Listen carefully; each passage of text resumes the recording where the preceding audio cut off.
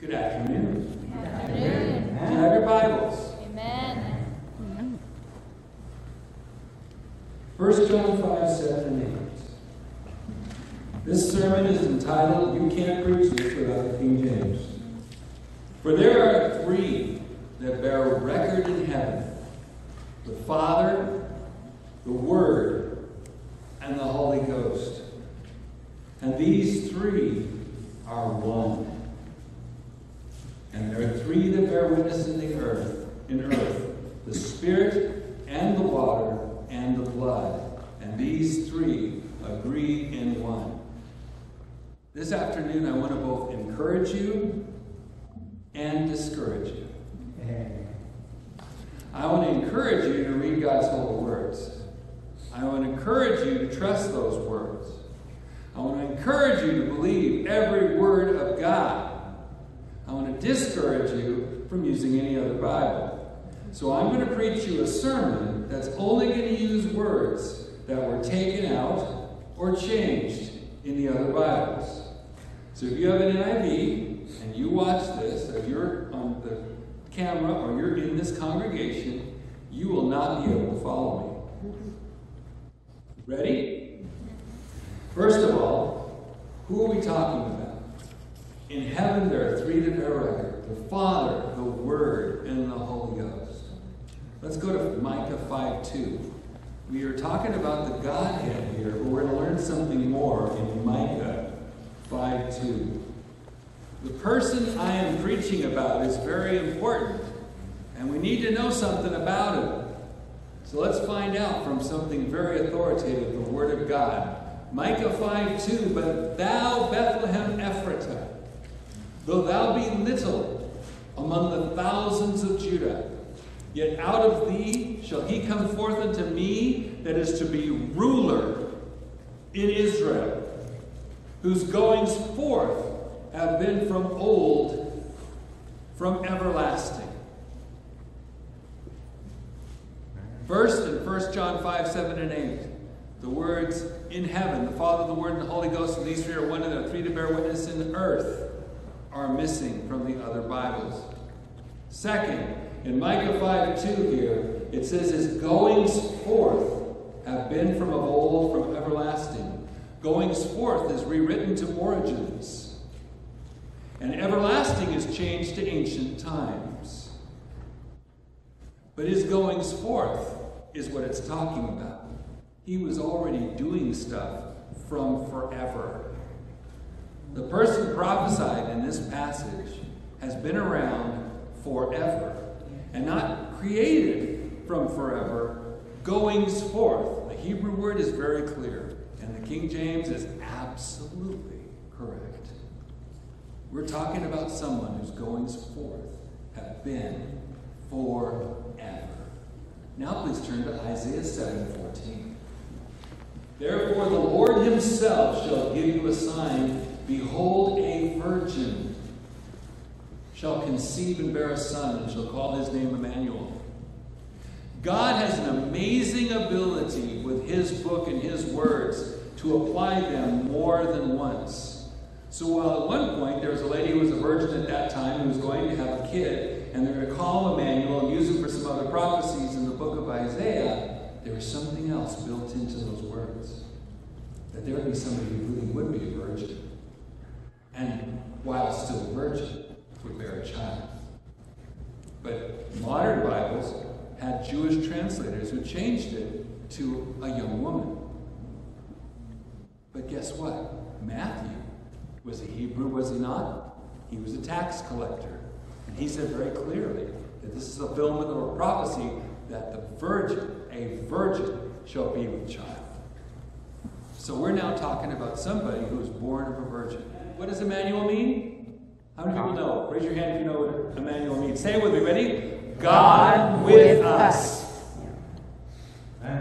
God with us. So whoever this is I'm about to preach about, he's born of a virgin, and his name will be God with us.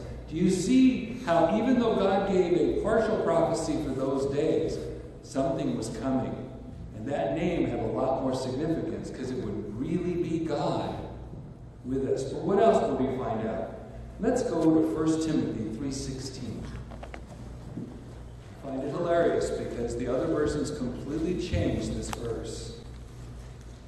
Because it starts out, 1 Timothy 3.16, and without controversy, great is the mystery of godliness. God was manifest in the flesh, justified in the spirit, seen of angels, preached unto the Gentiles, believed on in the world, received up into glory. Isn't it funny that the very first words are and without controversy? Because this verse is such a controversial verse. Because it wasn't a controversy when it was said, it wasn't a controversy when it happened, it was only a controversy when men changed it. And then it says, God was manifest in the flesh. The old NIV just said, He appeared in the body. Wow. So did you. and I think I did too. I was a little young then, but I think I believe my mother. We were all appearing in a body.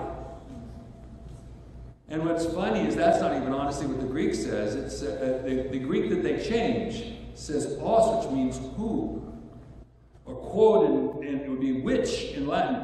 Which or who appeared in a body. And they don't even tell that honestly. Other translations say Christ appeared in a body. It doesn't say Christos, it doesn't say Christ. Theos, God. It's like, what's the controversy? All the controversies with them. You have the perfect word of God. The guy I'm preaching about also was God manifest in the flesh. What else do we find out about it? We will come back to this verse later, by the way. Go to 1 Corinthians chapter 15. 1 Corinthians chapter 15, verse 47.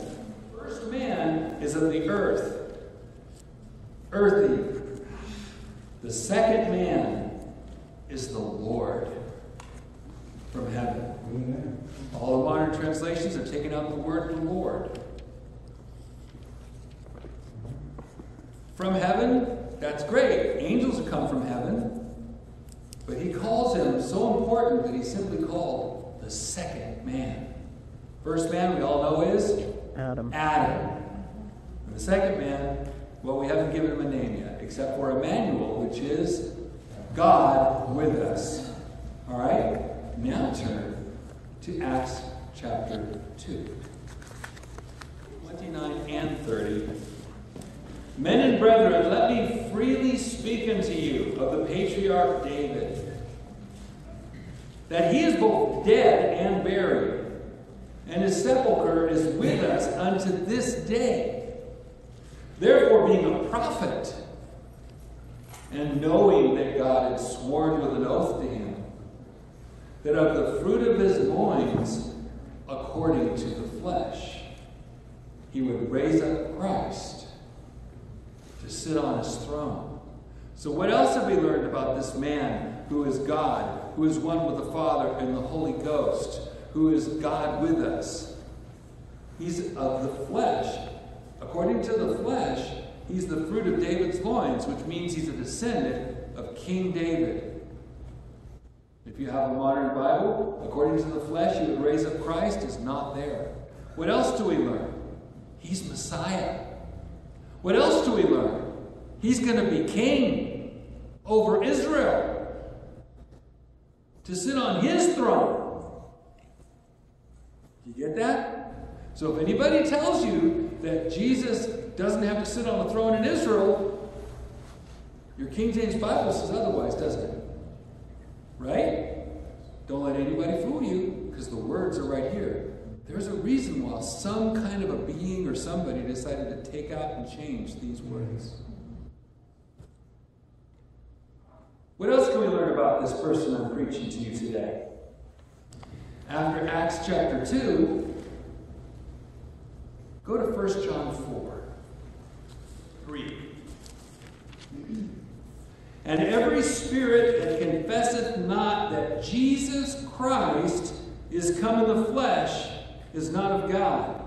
And this is that spirit of Antichrist, where you have heard that it should come, and even now already is it in the world. So the Lord God Messiah came in the flesh. He's named Jesus. And anyone says it's not true, that's the spirit of Antichrist. How do I know? Because it says so here. But in your modern Bibles, that Christ is come in the flesh is missing. See, including.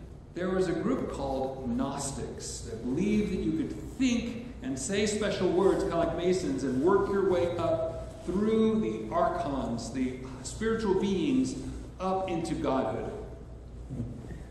Called apotheosis or theosis. And you could work your way up through this by having special knowledge, gnosis, where the idea that special knowledge gets you to move up the layers to godhood. But see, they believed that you separate the man Jesus from the position Christ and from the idea of God.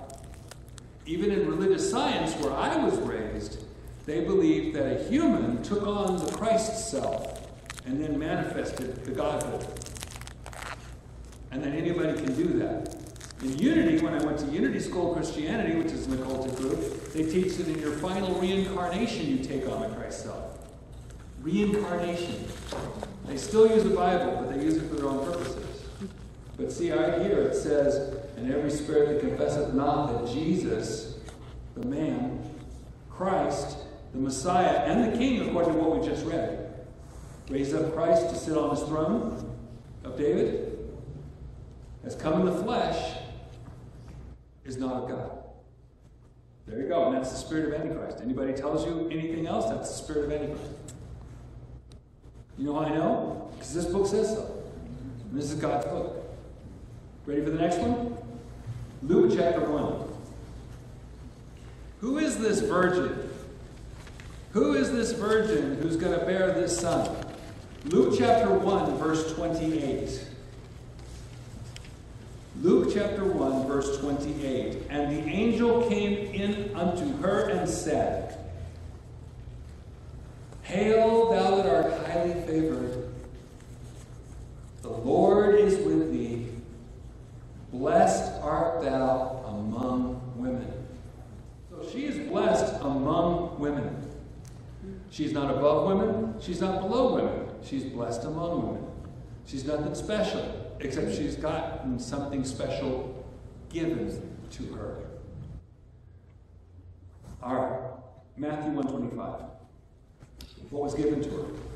And knew her not, this is Joseph from verse 24, till she had brought forth her firstborn son, and he called his name Jesus. Let's go back to 24 and read both of them again, because most of you are there now.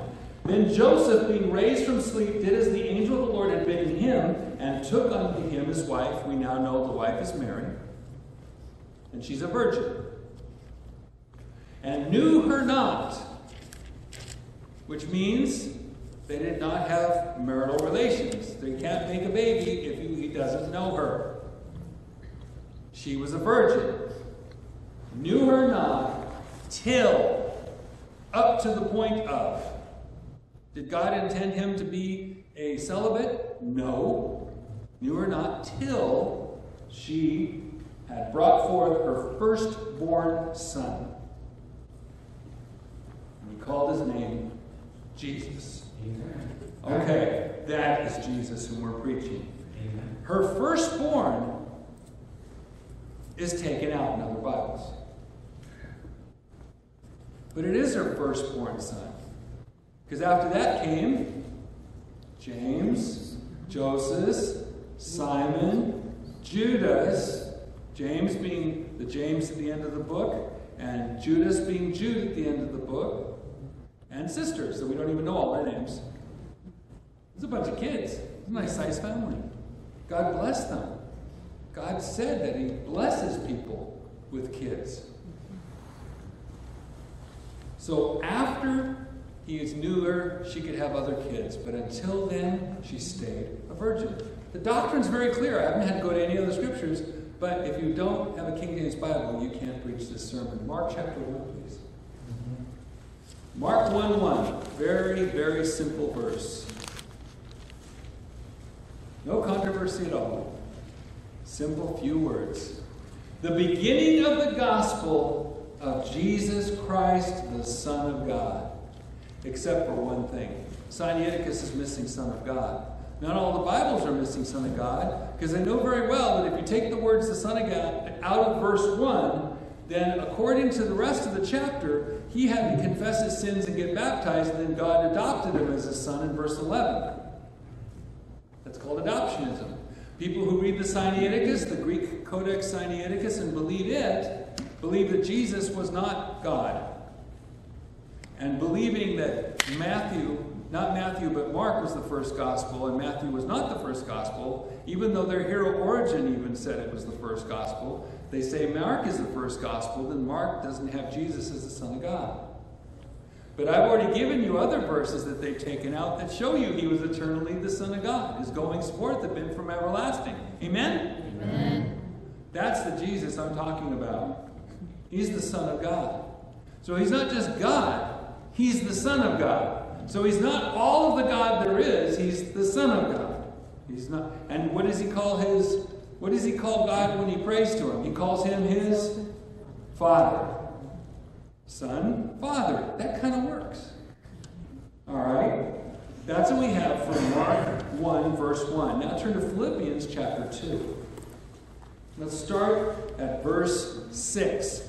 We want to learn some more about this person called Jesus, who's now born of a virgin inside a lady named Mary, with a husband who is not really the father. He's the husband of Mary, but not the father of Jesus. Are you with me so far? Amen. Verse 6 Who being in the form of God, thought it not robbery to be equal with God but made himself of no reputation, and took upon him the form of a servant, and was made in the likeness of men, and being found in fashion as a man, he humbled himself and became obedient unto death, even the death of the cross. What's changed here? The translation. The translation has changed in the other Bibles. Instead of saying who being in the form of God, they have all sorts of other things they said, but the form is important. He was in the form of God, and then he did something. The NIV says he made himself nothing. Really? Is this Puss in Boots where the guy, the giant turns himself into a little mouse and the cat bounces on him? No. He made himself nothing? New American Standard, he emptied himself? Is that what we're talking about? Empty glass. No. Because then he'd be only a human. If he's only a human, you're stuck. We're all in our sins. Because an ordinary human can't pay for anybody else's sins, much less his own. And even if he were perfect, he can only pay for his own. It wouldn't, and he couldn't be perfect. Because if he were only a human, he'd be descended from Adam and he'd have Adam's curse. But he's not. He was placed inside a woman named Mary. He was placed there. The Father lovingly placed his Son inside Mary. Most interesting conception in the world because it was God coming into his own creation, the author going inside his own book. He made him, he was in the form of God, and it says he thought it not robbery to be equal. That's way better than what you see in the other Bibles because they retranslated those words to say he thought equality with God wasn't a thing to be grasped. Now, there's two kinds of grasp. There's grasping on like this, trying to get it, grasping at it, or to be grasped this way. For years, I read the New American Standard and thought it meant that you couldn't understand it. No, that's not what it says at all. Harpazo, grab.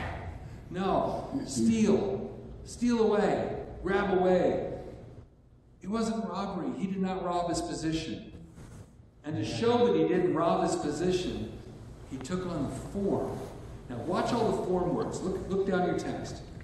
Being in the form of God, thought not robbery to be equal to God, but made himself of no reputation and took upon him the form of a servant, made in the likeness of man, found in fashion as a man. You get the idea? He's God plus. He's not God minus. There are modern preachers who tell you that Jesus was an ordinary man who had to be born again himself. And he wasn't born again until after three days and three nights of being tortured by devils in hell for his sins. Because he wasn't born again yet. And after he was born again, then he came up with his godhood kind of thing going, and then he's able to help everybody else, and then you too can become gods. If you listen very carefully to these sermons, as I have, and read or read their sermons, you'll see what they're really saying. No, uh, I came out of that cult. I'm not doing that again. I believe the book. Amen. So I believe in the one who made himself of no reputation, not made himself nothing. In fact, no reputation, he didn't go into a palace, did he? He went into a cave or a stable or something, whatever you want to call it, whatever they're feeding the animals in, wherever. I haven't been to Bethlehem lately and I don't know where it was. And I, last time I checked, I don't have a time machine, but whatever it was, he was born in that place where you feed animals. That's the person who made himself of no reputation. He didn't give any invitation to Herod. Herod, come on over see this. No. No, God went to some people in another country and invited them, and they told the king. Right? You know the story because you've read it.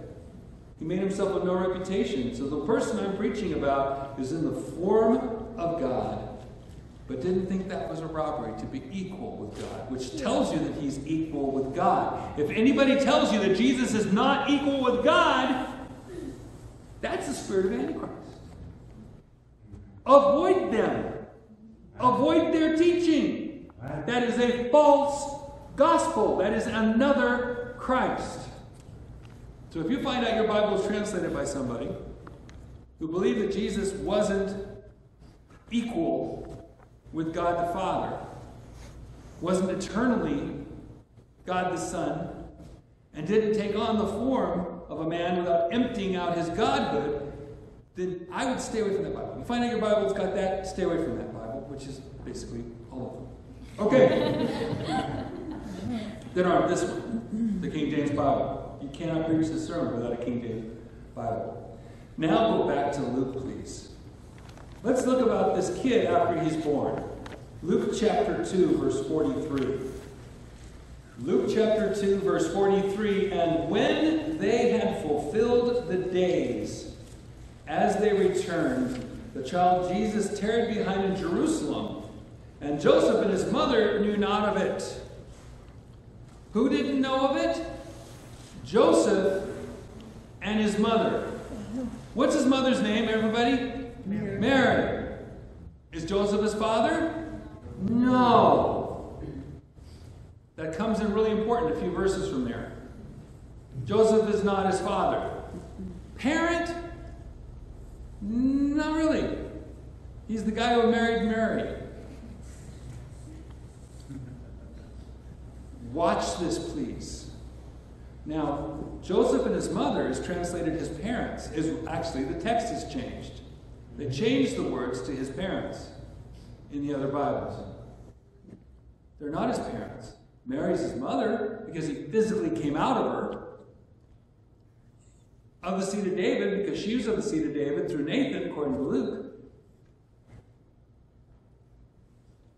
But Joseph is not his father. Please watch what happens when Mary talks to him after they find their son that has been three days not with them. They had to work their way back the caravan, all the way back to Jerusalem. Finally, they think, Do you think that he might be in the temple? And there he was. They went there up the stairway to the upper side. They walked to where the Pharisees and the Sadducees had their little court thing there. And there's this little kid, 12 years old. Let's go right there verse 48. And when they saw him, they were amazed. Why? Let's go back to verse 46. And it came to pass that after three days they found him in the temple, sitting in the midst of the doctors, both hearing them and asking them questions. Remember, he's hearing them and asking them questions, but what are the doctors amazed about? Verse 47 And all that heard him were astonished at his understanding and his answers. There's a little 12 year old kid who just happened to have created them. he knows what they had for dinner last night. He knows how many chromosomes are in their body. He knows every DNA. He knows the thoughts they're thinking while he's answering their questions. He knows that when he asks a question, that they needed to hear that question asked. He knows what will push their buttons. He's God. Amen. So Mary, in verse 48, and when they saw him, they were amazed. And his mother, because she's his mother, he came out of her. She was a virgin named Mary, and he came out of her. And his mother said unto him, Son, why hast thou thus dealt with us? Behold, thy father and I have sought thee sorrowing. Eh, wrong answer. And Jesus is about to correct his mother. The Creator is about to correct the creation as a 12 year old child. Verse 49 And he said unto them, How is it that ye sought me? Wist ye not that I must be about my Father's business? Amen. Using the word business means that Jesus was about his Father's business. The other translations pick a different word that make him no longer about his Father's business. You can look it up for yourself and see what different options they have. But he was about his Father's business. It makes absolute sense. One, it translates the whole context correctly. And secondly, it's in the book. This is the book that produces faith. The other ones produce doubt. If I had nothing to look at but fruit, I'd know this is the right book. Every, almost every Bible college, almost every seminary, almost every theologian, almost every atheist, almost every pagan, almost every heathen of other kinds, almost every religion, um, almost every book, almost every course, almost every degree is against this book. A book is more known by its enemies than by its cover. When the NIV put Holy Bible on the front, even with people who weren't King James people back in the 80s, they looked at that and said, That's blasphemy. You can't call that a Holy Bible. We know that. Even they knew the NIV wasn't the Holy Bible. They thought that was blasphemy that they put that on the front. But you don't know a book by its cover, you know it by its enemies. This book's hated. That should tell you something. I want to know about this book, if for nothing else than that. And I know a lot more than that. Chris knows a lot more about that. And a lot of you, in fact, pretty much all of you know a lot more than that. And the others of you are going to be taught by the people who are here. I must be about my Father's business. So, whatever it is the Son is doing, the Son of God who's come in the world, through a virgin named Mary, who is God, who created everything, who is equal with God, is a term for the Father, which we see reading the New Testament. This Jesus is about his Father's business. What is his Father's business? Is he a carpenter? No, because it's not about Joseph. It's about somebody else, right? So it's something important. Let's find out. Turn back, or turn over to chapter 4. In chapter 4, Jesus was full of the Holy Ghost. Let's start at verse 1, please. Just the next page or two. And Jesus, being full of the Holy Ghost, returned from Jordan and was led by the Spirit into the wilderness, being forty days tempted of the devil. And in those days he did eat nothing, and when they were ended, he afterward hungered. Yeah, 40 days. Don't try this at home. It really is true. Don't, don't. No. Verse 3 And the devil said unto him, If thou be the Son of God, ooh, what a jerk. If thou be the Son of God, command this stone that it be made bread. You're hungry, right? And Jesus answered him, saying, It is written that man shall not live by bread alone. Read the rest with me but by every word of God. You know what's really ironically true about this verse? The words, but by every word of God, are missing in the other Bibles. The very part that tells you you live by every word of God has parts of every word of God taken out. Even if you read it in the Old Testament, you'd know that that's what it says. He's about his father's business. And whatever he's about is concerned with every word of God. And was it you, Chris, that said it's every it's man? It's not just this group. It's not just the Israelis. Man. That's male and female. He called them men. He Called them out the day they were created. Male and female. Everybody. Mankind. Sometimes not so kind. Cannot live by bread alone. What we're going to live by is every word of God. I want a book with every word of God, don't you? Luke chapter 4 4, that's where we were. Now let's go to John 9.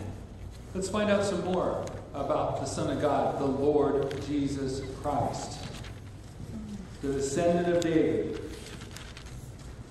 born of a virgin named Mary, whose husband was Joseph, who was not the father, because the Father in heaven is the Father. Luke chapter 9, there's a man that was born blind. Verse 35, he's already been cast out.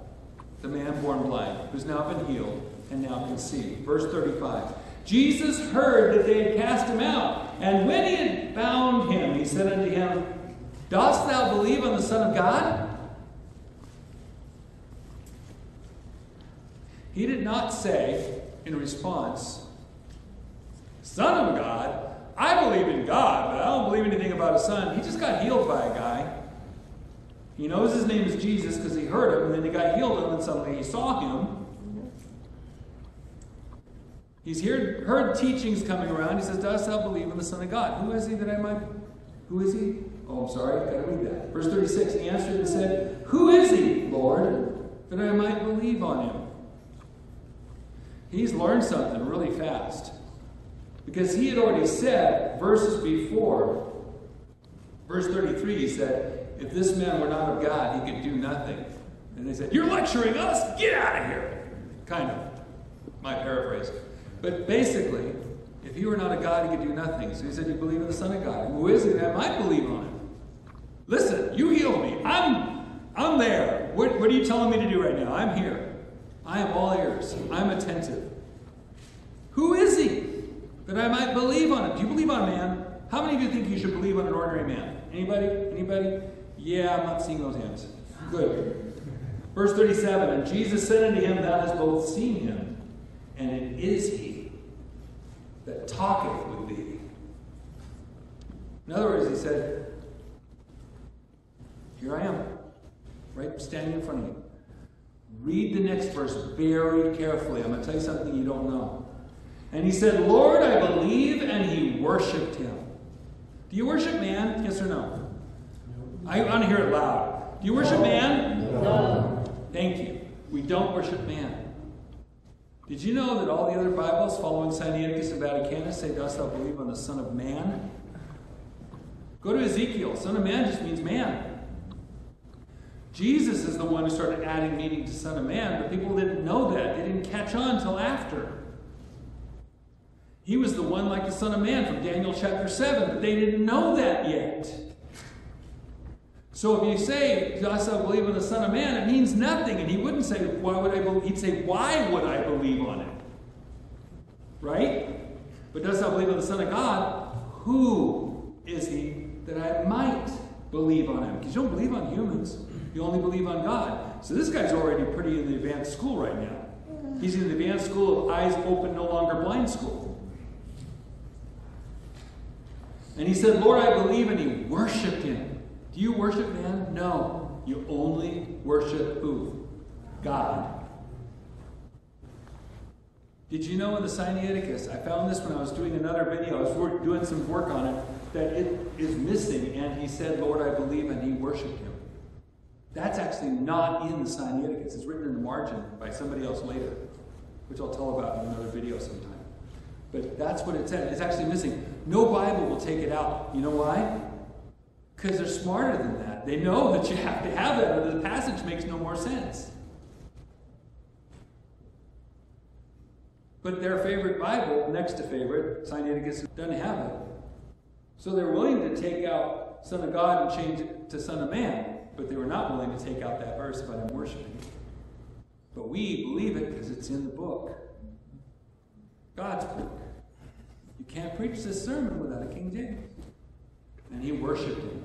So he is the Son of God, and he is worthy of worship. That's what the Jesus I'm preaching right now. What else can we learn about him? Go to Matthew chapter 9. He was about his father's business. What is his father's business?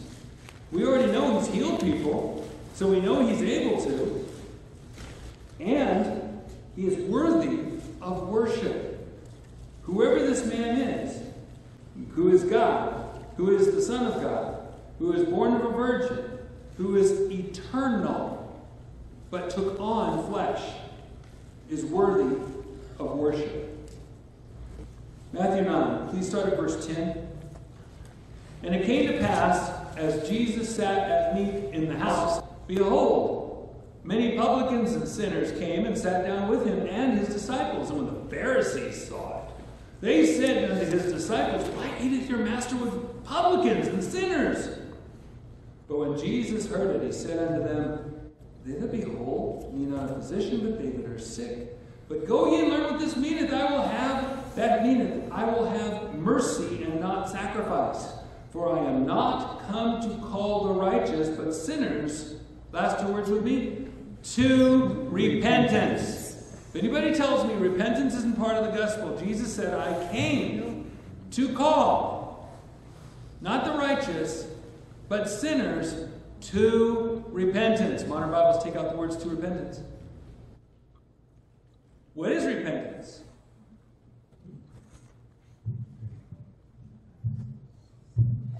Turn and face the Lord.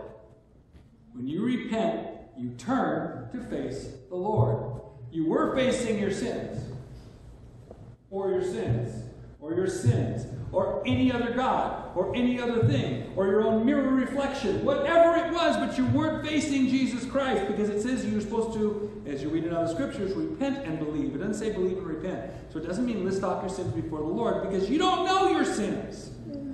You're too busy being in sin. You're awash in sin. You can't list off your sins in front of a holy God. You think he'd say, okay, that's five out of 4,000 for the first list. That'll cover Thursday. Yeah, then you can't list your sins. That's not what repentance is. It's that you change to turn to face Him. That's why He said that the Son of Man be lifted up. Like Moses lifted up the serpent in the wilderness. They had to turn and look. They've been bitten, they're going to die. They had to turn and look at the serpent on the pole. And then God healed him. Jesus said, As Moses lifted up the serpent in the wilderness, so even so shall the Son of Man be lifted up, that whosoever believeth in him should not perish but have eternal life. That's what God said.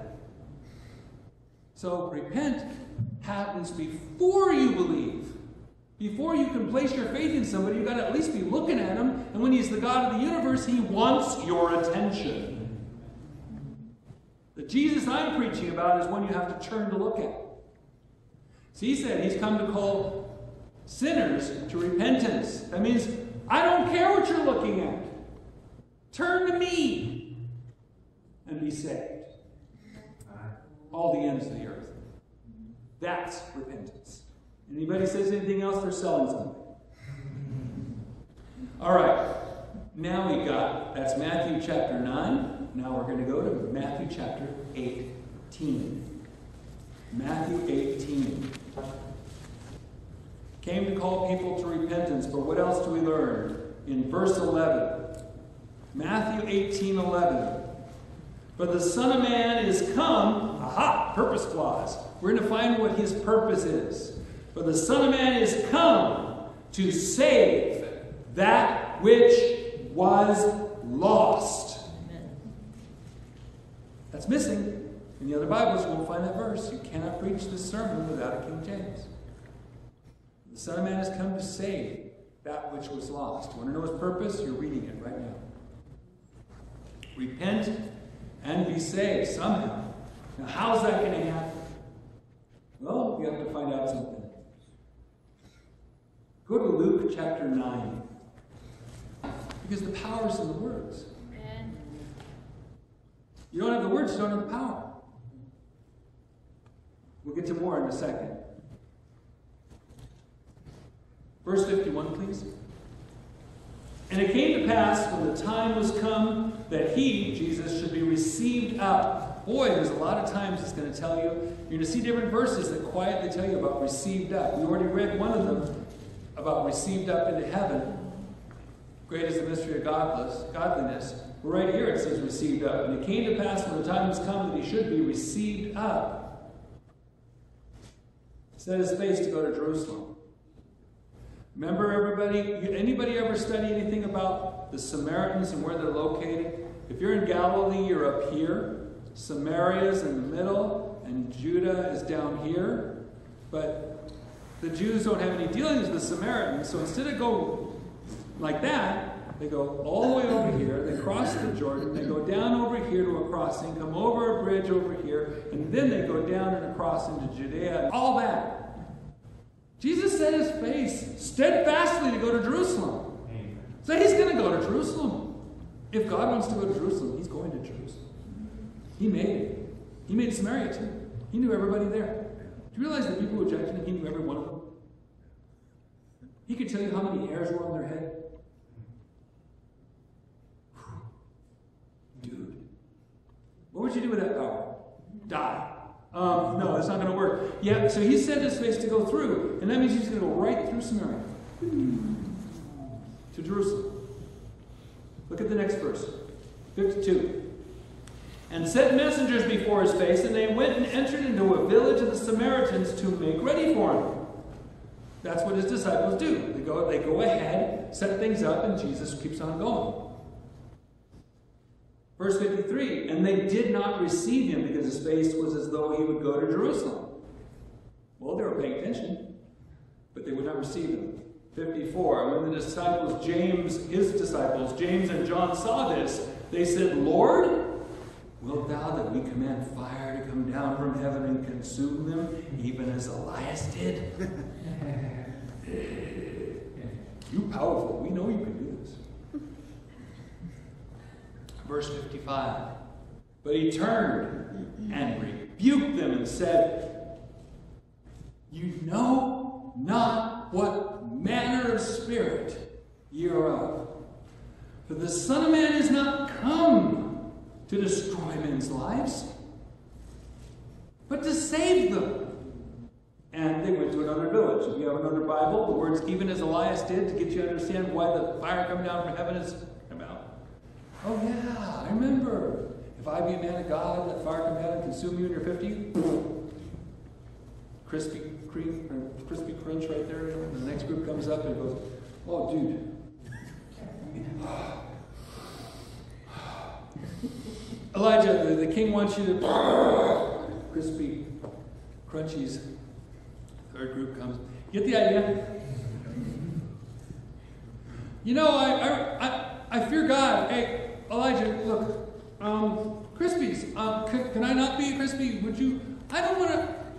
If you want to come see the king, it's okay with me, but you know, I really do fear God. I'll come with you. No, no, really. I'm, I'm not. No, I'm not to turn around and you're to go and I'm to be crispy like that. No, I'm just, I'm just saying, please. No, I'm to come with you. Okay even as Elias did. Brings up the whole story. That's missing if you don't have a King James Bible. And then after that, when Jesus gives them, it just says he turned and rebuked them and they went to another village. What? Then what's the point? Why tell the story? Turned and rebuked them and went to another village. It means nothing. There's no lesson. That's what I have in my booklet, What's Missing. I show that there's missing lessons here. But there's a reason, because the Gnostics don't want to have a purpose like this. They want the purpose to be to have the secret knowledge and ascend through the archons up into the demiurge. You want to work your way up to godhood. So Jesus responds in the opposite way. Ye know not what manner of spirit you are ye are of, for the Son of Man is not come to destroy men's lives, but to save them. He came to save lives, not to destroy them. His first coming is not about destruction, it's about salvation. Awesome. Why did they take it out? I just told you. But it's missing. But it's in this book. I believe this book. This is the book that produces faith. People that have the books that produce doubt, look at them online. Look at the look at the surveys. Look at the Barna surveys. Look at the Lifeway surveys. Look at any of them. Go to the churches, find out the statements of faith. You'll find out they don't believe. They don't believe that Jesus is eternal. They don't believe that Jesus was born of a virgin. They believe that Jesus sinned. Because they believe their book. Their book takes out these words. These words produce faith. If these words are taken out, or stuck in the footnotes, or stuck into the margin, they produce doubt. This is called the Christian faith, not the Christian doubt. You don't say doubt cometh by hearing, and hearing by the word of the ESV. You say faith cometh by hearing, and hearing by the word of God. So this is obviously not an ESV. All right. You knew that. So we're at Luke chapter 9. Now, let's go to Colossians. Colossians chapter 1. This is so awesome. This is what Christ came to do.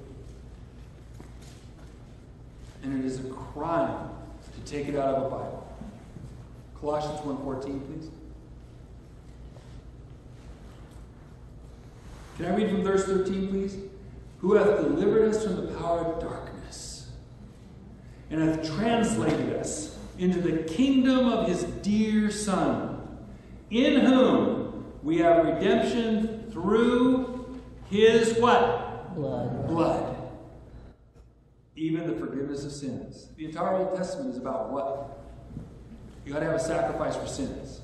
The entire sacrificial system says you need what to have a sacrifice? You got to have blood to have a sacrifice for sins.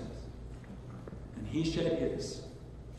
And modern Bibles remove Colossians 1:14 words through his blood. It doesn't even make logical sense, but they don't care because they're not looking for a book that's logical. In fact, textual criticism is based around the idea that the harder reading is the better one. You prefer the harder reading. So if it contradicts, makes no sense, is hard to understand how it got there, then it must be the true one. I believe we have a God who's consistent, who's clear, and whose purpose can be easily discerned. And that's what my Bible says through his blood. So, this Jesus that I'm preaching about shed his blood. If you have a Bible that takes out the blood, it's the wrong book. It's hard to call it a Bible. Now, go to Hebrews, please. See, I believe the book, and I know what the letter's for. The letter is for the person it's given to. If it's not for the person it's given to, it's like it's it's deception. I'm not going to deceive somebody. I'm going to give them a letter for them. They're going to read it, and they'll take it in themselves. Now, if it talks about somebody else, then it's talking about somebody else. And if it's talking to you, it's talking to you. And if it's talking to the unbelievers in the congregation, like it was here, then it's for the unbelievers. If it's talking to the believers in that same congregation, it's talking to them. What was happening at the time Hebrews was written? Does anybody know? Persecution was about to come in, and there was a shift in Roman law. The legal religion was Judaism. It was made illegal even though they didn't have any gods. Even though they didn't do the pinch of incense to Caesar, even though they didn't do the oblations and sacrifices and all the different things you do for government jobs in, in the Roman Empire, it was made illegal or religio licita, or legal religion. Christianity, they figured out, dude, the Jews don't like you. Um, you're different. You're not legal. Now, at that time, there are Jews that are visiting and hearing about that this is the Messiah Jesus, and they're thinking about coming over to him and placing their faith in him. But at the same time, the laws are changing. And this is going to get bad. They could get hurt. And remember, if you're unsaved, you're not willing to die for something you're not sure about. Right? It's the Christians who have faith who made it through the trials. So the Jews in those congregations are having some serious trouble. So Paul is writing to both in the same letter. You can tell who they are by seeing what he's telling them. They couldn't enter in because of what? Unbelief. Then it's somebody who's not believing he's writing to. Other people he's talking about continuing in the faith. Well, then that's what he's writing to there. When you got a mixed congregation, you got to talk to both of them, right? The saved and the unsaved. Yes, but it's about works. No, it's not. It's about faith. You've got to pay attention to the words. If I think it's something about works and God says it's about faith, then who's wrong? Me. Not the book. I don't change the book. I don't wrongly divide the Word of God by throwing it off and saying that doesn't matter for 2,000 years. I'm just being honest with you. I can't be anything else. I, I, I have somebody to report to, and I'm scared. I don't want him to be mad. I want to say what he wants me to say. So please go to Hebrews chapter 1, verse 3. Hebrews 1, verse 3. Who, meaning Jesus, being the brightness of his, that's the Father's, glory, and the express image of his, the Father's, person, and upholding all things by the word of his, that's the Son's, power, when he had by himself purged our sins, sat down on the right hand of the majesty on high. That's his Father, right? And all the other Bibles, by himself is removed. But see, I don't need Mary. I don't need Joseph. I don't need the angels. I don't need the saints. I don't need Gene Scott. Right again. I don't need anybody. I need Jesus. Amen. Jesus by himself purged our sins. By the shedding of blood. Absolutely. 1 Peter 4 1, please. It's about the blood. It's all about the blood. If you don't have the shedding of blood, Jesus couldn't have purged our sins. Why? He made the system. He gave the law to Moses. It was the Son, not the Father. No man had seen the Father, God, at any time. The only begotten Son. He had declared. Right? 1 Peter 4 1. Forasmuch then as Christ hath suffered for us in the flesh, arm yourselves likewise with the same mind, for he that hath suffered in the flesh hath ceased from sin. Who did he suffer for? Us. Isn't that awesome? He suffered. All that suffering he went through was for us. Praise the Lord. For us is missing in the other Bibles. If you don't have a King James Bible, you cannot preach this sermon. Let's go back to 1 Timothy 3.16 for a second. I told you we'd come back to it. We're almost there. Let's read the whole thing again. And without controversy, great is the mystery of godliness. God was manifest in the flesh, justified in the spirit, seen of angels, preached unto the Gentiles, believed on in the world, received up into glory. After he purged our sins, he did what? He was received up into glory. And that's just like what we did read already in Philippians. When we were in Philippians, it said, and being found in fashion as a man, he humbled himself, and became obedient unto death, even the death of the cross. Verse 9 Wherefore God hath highly exalted him and given him a name which is above every name, that at the name of Jesus every knee should bow, things in heaven and things in earth and things under the earth, and that every tongue should confess that Jesus Christ is Lord to the glory of God the Father. It's a great verse, but if you don't have all these other verses, you don't have the build up. You just have a great story, but you don't have the who, what, the when, the where, the why. I just gave all that to you in verses that are missing from the other Bibles. Now go to Mark 16. Let's finish the story. Mark chapter 16. Oh no, Mark chapter 16.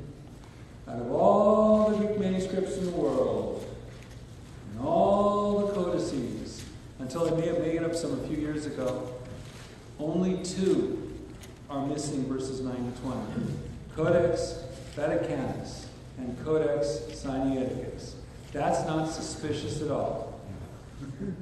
Every translation, every ancient translation has it. Minuscules, majuscules, all those schools. Mark 16, starting at verse 9. What happened to Jesus? Now, when Jesus was risen, aha! He was risen. I love it. Early, the first day of the week, he appeared first to Mary Magdalene, out of whom he cast seven devils. And she went and told them that had been with him, and they mourned and wept. And they, when they had heard that he was alive and had seen of her, believed not. After that, he appeared in another form under two of them as they walked and went into the country. They went and told unto the residue, neither believed they them. Afterward, it appeared unto the eleven as they sat at meat, and upbraided them with their unbelief and hardness of heart, because they believed not them which had seen him after he was risen. And he had said unto them, Go ye into all the world, and preach the gospel to every creature. He that believeth and is baptized shall be saved, but he that believeth not shall be damned. Let me stop right there. See, if you don't believe and you get baptized, you have a wet sinner. If you believe and are baptized, you have an obedient Christian. Right? No controversy here? It was really simple. That was so difficult, wasn't it? And these signs shall follow them that believe. Yes, I'm going to read those forbidden verses that Ryrie said you shouldn't base any doctrine on these words because they don't really. We don't. Mm, and all these different Bibles, I got a bunch of study Bibles. Say no, it's not wise to base a doctrine on of these words. Funny because people with an awful lot of faith have lasted over 400 years, generation after generation after generation. After generation. All they had to do was believe these words, and God took care of them just fine. Yes. Funny, they just called it the book. They believed it. My ancestor, Roger Williams, founded the First Baptist Church in the United States before it was the United States. My ancestors came off the Mayflower, the Hopkins line. They had a King James Bible. Then they had a Geneva. That's funny because the only one that's documented to have been on the Mayflower is a King James Bible. Go to Pilgrim Hall, Massachusetts. Photograph, and you can see it right there in the case. The other ones, maybe. But they bought it just before they left. We can tell because it tells you the date, which is really nice. These signs shall follow them that believe. In my name shall they cast out devils. Did you see any casting out of devils in the book of Acts? Yeah, I'd say you did. They shall speak with new tongues. Did anybody speak with new tongues? As a matter of fact, a very short time after this, his own disciples did themselves, and some other people did too. And people heard the gospel in their own language. They shall take up serpents. Oh, I seem to remember a guy named Paul on the island of Malta. And he picked up a serpent. It kind of fastened itself to him, but he picked it up. Look what I picked up. And they went, aha, the gods don't like him. And they wouldn't let him, he, he survived the water, so they won't let him survive this thing. He shakes the thing off with the fire. They're going, okay, he's going to puff up and die, and. And went, he's a god. Talk about fickle. They're like, you know, my goodness, you made a YouTube video about that. And after that, no, no, no, no, no. And gets them to Jesus, converts people on the island. It's awesome. Okay, so check, check, check. Okay, we checked it off. Next one. They shall take up servants, and if they drink any deadly thing, it shall not hurt them. Didn't hear anything about that, but if Jesus said it, it must be true. I do know some missionaries in Mexico, and they were living there, and they were trying to preach the gospel. At one point, people started looking at them funny, and funnier, and funnier. And then people started getting saved. It's like, so what made the difference for you guys? He said, well, you didn't die. What do you mean? We've been poisoning you for months. God wanted the gospel to be open to that group in Mexico. And he didn't give a rip of what chemicals were in there. Did he? Because the gospel is more important. So I just go, yeah, I'm suspending those laws right now. and so the missionaries never even knew about it until they were told by the converts that they were poisoned. If they drink any deadly thing, it shall not hurt them. And they shall lay their hands on the sick, and they shall recover. Did anybody lay their hands on the sick in the book of Acts? Yes, they did. Now get ready. Ooh, controversy. So then, after the Lord had spoken unto them, he was received up into heaven. There we go again. Received up into heaven. Keep hearing that. And sat on the right hand of God. So now we know he's got a throne up there.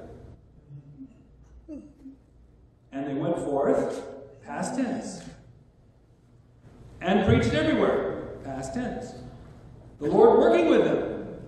Okay, that's part of what? Past tense. When you have an ing word, it's subject to whatever you just listed. What's your main verb? Preached. The Lord working with them and confirming the word with signs following. Did it happen? Yes! What's the controversy? Oh, amen. There. Now, what's the controversy? There's no controversy. Unwise to base the doctrine. You just don't want to believe it because you like Sinaiticus and Vaticanus. That's what's going on, Mr. Scholar, you. You want to feel like you know more than other people, and you say, Yes, but I'm not going to take it out of the Bible because you won't buy it. Well, I'm not buying your argument. It's in the book. And people who believe the book have faith following. Amen. I believe every word of this. He was ascended into heaven. Two more verses. John 6:47, please. This is the Jesus I'm preaching. How many people saw what was it called, The Prince of Egypt, that cartoon about Moses many years ago? If you believe.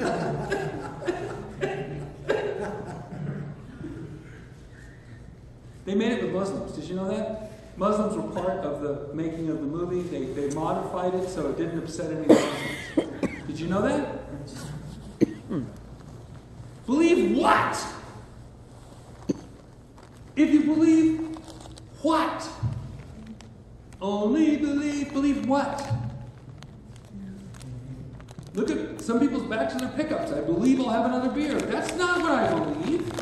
You have to have a, an object. Where are you going to believe? Or who are you going to believe?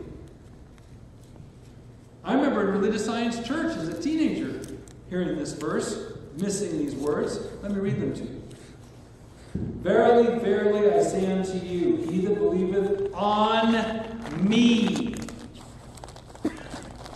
hath everlasting life. The Jesus I preach is someone you need to believe on. Nobody else. Nobody else did the work. Nobody else shed his blood. Nobody else was perfect. Nobody else was eternal. Nobody else was equal with God. Nobody else was the Son of God. Nobody else was powerful enough. Nobody else knew their thoughts. Nobody else was able to do any of this but Jesus. Amen. The Lord Jesus Christ. You will find time after time in the other Bibles they remove either the Lord or Jesus or Christ. At least one of them. Why? Because the power is in the Word of God. And if He's the Lord and Jesus and Christ, He's God, become a man who is the King, the rightful King of Israel. And guess what that also means? You can't just say that Jesus is responsible for all bad things in the world. No, no, no, no. God's got a plan with Israel because Jesus has got it right on the throne. If Jesus is going to reign on that throne, there's got to be an Israel. There's got to be Jerusalem, and there's got to be a temple. Boy, that changes your theology quick. It changes your eschatology, your end times, really fast. All because you have all the words there. Take out some of the words, your doctrine changes. And that's what happened. As I tell people repeatedly, I'm not standing at the beginning of history saying, if you have a change in your Bible, this is what's going to happen, or may happen, or might happen, or could happen. I'm standing at the end of history saying, dudes, this is what happened. This is how we got in the mess we are. This is how we got here. It's already been done. This isn't a doing deal, this is a done deal. That's what the proliferation of non this are doing and have done for generations. What Chris and I are doing is trying to expose the wool that's been pulled over our eyes and the wolf that's under the sheep's clothing. The last thing, you guys got that pesky baptism. Let's go to Acts 8. Just to show you, when you believe, there's something you should do. When you believe, after you're saved, there's something you should do. Am I taking too long? Is it okay? Amen. You guys all right? All right. In the verse, let's start at verse 26 then. And the angel of the Lord spake unto Philip, saying, Arise and go toward the south unto the way that goes south from Jerusalem unto Gaza, which is desert. And he arose and went, and behold, a man of Ethiopia, a eunuch of great authority, under Candace, queen of the Ethiopians, who had the charge of all her treasure, and had come to Jerusalem for to worship, conquered at the gate, was returning and sitting in his chariot, read Esaias the prophet. Then the Spirit said unto Philip, realize an angel goes and does one thing, then a spirit talks to him, and he knew which one was which. What a relationship with God to know one from the other. Then the Spirit said unto Philip, Go near and join thyself unto this chariot. Out of the caravan. All he knows is he's being obedient. He's walking out in the middle of the desert. Then suddenly there's a guy. Whew, okay. Join yourself to that chariot the super powerful guy is sitting and he's reading. You're going to go bug him. How many of you would do it? Good thing he knew it was the Spirit. And Philip ran thither. He ran because he was obedient. Philip ran thither to him and heard him read the prophet Esaias and said, Understandest thou what thou readest? he said, How can I, except some man should guide me? And he desired Philip that he would come up and sit with him. No, no, you're a Gentile. We can't be, we're Jews. We don't stay around you Ethiopians. Nope. He climbed right up. Because his soul was more important than his race. And besides, race is a new term. More important than his color, background, whatever you want to call it. Outsider. The place in the scripture which he read was this He was led as a sheep to the slaughter, and like a lamb dumb before his shearer, so opened he not his mouth, and his humiliation, his judgment was taken away. And who shall declare his generation, for his life is taken from the earth? You know, Isaiah 52, 13 to 53, 12 is what he was reading, the very prophecy of the Messiah. Verse 34, and the eunuch answered Philip and said, I pray thee, of whom speaketh prophet this, of himself or of some other man? I know of a Jewish guy who became, who was studying in rabbinical school, becoming a rabbi, and he got to where he had the question about Isaiah. And he asked about this passage. And the other rabbis there said, You asked too many questions. That's what they told him. In his discouragement, he walked into the middle of the town, hoped nobody watched him, and went into that forbidden store called a Bible bookstore. And he got the forbidden book, King James Bible. And he read it, and he found out the answer and got saved. But he was still going to rabbinical school. And they found out, and he got his answers, and he got saved. He paid his money, so they let him finish his courses. But when everybody else was going through the processional, the one would go, you know, Rabbi Shimon. You know, Rabbi Shemuel. Rabbi Joseph.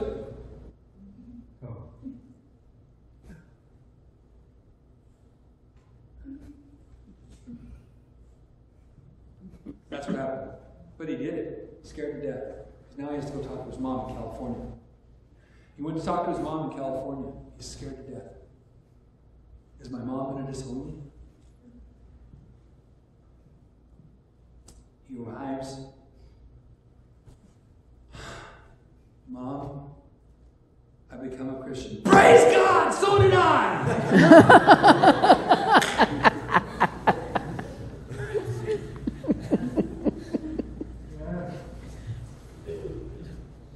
Verse 35 And Philip opened his mouth and began at the same scripture and preached unto him Jesus. That's the Jesus I'm preaching. And as they went on their way, they came into a certain water, and the eunuch said, See, here's water. Okay, what doth hinder me to be baptized? Because the Jews always had rules. You have to do this, you have to do this, you have to do this. What's the rule, guys? Verse 37 And Philip said, If thou believest with all thine heart, thou mayest. And he answered and said, I believe that Jesus Christ is the Son of God. What happened next? Verse 38 And he commanded the chariot to stand still, and they went down both into the water, both Philip and the eunuch, and he baptized them. And when they were come out of the water, the Spirit of the Lord, whoop, that's not in the text, caught away Philip, and the eunuch saw him no more, and he went on his way rejoicing. But Philip was found at Azotus, about 14 miles away. And passing through the, he preached in all the cities till he came to Caesarea. See, once he got baptized, he was now an obedient believer. Mark 16. Proper application. Most Bibles don't have that verse. If thou believest with all thine heart, thou mayest. And he answered and said, I believe that Jesus Christ, the Son of God. But that's the Jesus that I preach. And that's the Jesus of this book. And if you believe on the Jesus that I've just preached out of this book and these verses you can't find in other Bibles, you will be saved. And if you can say from your heart that you have given yourself in faith to the Son of God, realizing you're a sinner, confessing it before Him, repenting, you turn toward Him and you express your faith in Jesus Christ, you will be saved and you are now qualified to be baptized. No 12 week course. You, I don't know if you have one, but if you do, it's not scriptural. No 12 week course. You can go dunk them right then and then. Right then and there. Yeah. Bam! Same hour of the night, Acts 16. Jailer got baptized, not just him, but his whole family. Oh, so he believed for his family. No, they preached all the family. Look very carefully at the verse. If you read it out of the King James Bible, you know what it says. If you read the other ones, you don't. Because they change those words. Why? Something happened in somebody's heart, and they decided that they were going to trust scholars instead of God. That was your plan, God. Babes, ordinary folk, us, not scholars. If you have not given yourself to this Jesus in faith, and you want to, this is your time. I'm simply going to pray right now, and then I'm going to step down. And then you, if you want to get saved and you're not saved, then there's somebody here who can lead you. But that's the Jesus I preach. That is the only Jesus I preach. I'm going to preach him out of this book because this book answers all the questions I showed you today. Let's pray.